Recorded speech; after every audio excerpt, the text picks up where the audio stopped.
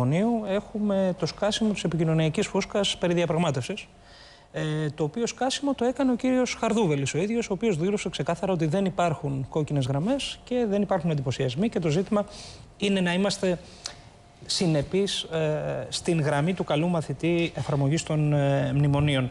Ε, αυτή η διαπραγμάτευση, ξέρετε, πέρα το ότι δεν πείθει κανένα, γίνεται και σε ένα πολιτικό κλίμα πλήρους απονομιμοποίησης της κυβέρνησης. Δηλαδή; Δεν εννοώ τις τελευταίε δημοσκοπήσεις που δείχνουν την πτώση της Νέας Δημοκρατίας και τη διάρρηξη των δεσμών της με στρώματα κοινωνικά που παραδοσιακά τη στήριζαν.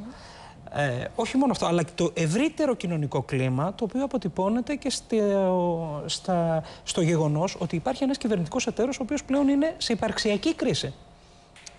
Εσείς, απολύτως λογικά, σαν δημοσιογράφος, ρωτήσατε τον κύριο Παπαμιμίκο τι συμβαίνει με τον κυβερνητικό εταίρο. Ένας κυβερνητικός εταίρος, ο οποίος ε, έχει τέτοιου τύπου προβλήματα τα, τα οποία ας πούμε έχουν και μια αποτύπωση η οποία δεν είναι ε, θετική ε, ως δημόσια εικόνα, ναι.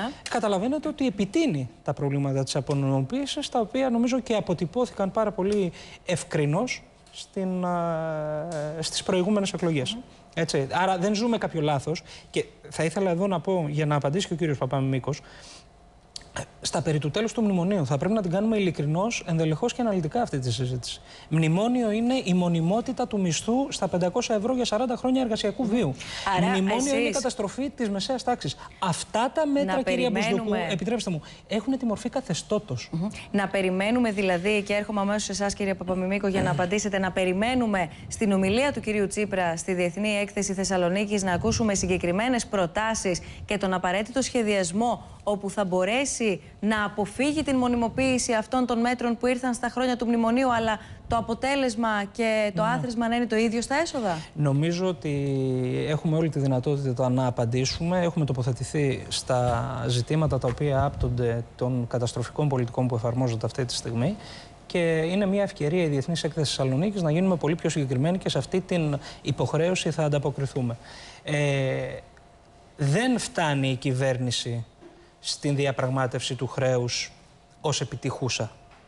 Η διαπραγμάτευση εκ νέου για το χρέος αποτυπώνει την πανταγώδη αποτυχία του μνημονίου. Και τι εννοώ; Η υπόσχεση του μνημονίου είναι να καταστήσει το χρέος βιώσιμο. Έτσι μας λέγανε με το PSI. Ότι κατέστη το χρέος βιώσιμο. Τελειώσαμε. Ναι, αλλά και με το να ζητάτε και μετά από 1,5 χρόνο. Εκλογές σας λένε και σας κατηγορούν ότι ποντάρετε στην εθνική αποτυχία. Όχι, καθόλου. Η εθνική αποτυχία έχει καταγραφεί και μάλιστα στο, στην εθνική μας αποτυχία αυτή την οποία εμείς απευχόμασταν και από την πρώτη στιγμή είχαμε επισημάνει τον καταστροφικό δρόμο, καταραίει και το μοντέλο της Τρόικας στην Ευρώπη. Διότι η συζήτηση στην Ευρώπη ανοίγει με τις παρεμβάσεις του κύριου Ντράγκη, με τις παρεμβάσεις του κύριου Ρέντζη και η ελληνική κυβέρνηση, ενώ θα περίμενε κανείς να είναι η πρώτη που θα βγει να μιλήσει για τις καταστροφικές συνέπειες αυτών των πολιτικών, δίνεται το μανδύα του τελευταίου των Μερκελιστών. Λοιπόν, για να δούμε τι απαντάτε σε όλα αυτά. Πρώτον, να σας